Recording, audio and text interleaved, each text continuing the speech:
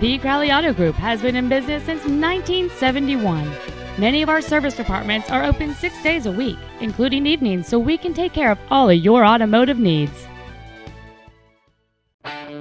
This is a 2006 Ford F 150. Strong, durable, and dependable.